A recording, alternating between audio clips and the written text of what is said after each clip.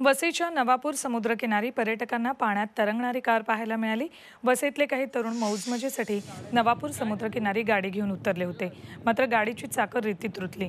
भरतीच्या वेळी तर गाडी पाण्यावर तरंगत होती. स्थानिकांमार्फत ही गाडी ट्रॅक्टरच्या सहाय्यानं अडीच ते तीन तासांच्या प्रयत्नानंतर बाहेर खेचून काढली.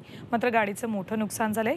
अदनाळा राजोडी कळम सुरुची बाग किनाऱ्या समुद्रकिनाऱ्यांवर पर्यटक दुचाकी चारचाकी उतरवून स्टंटबाजी करत असतात.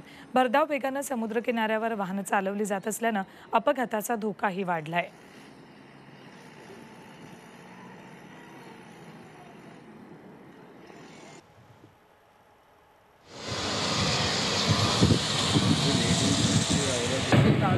काय व्हिडिओ काढ व्हिडिओ काढ.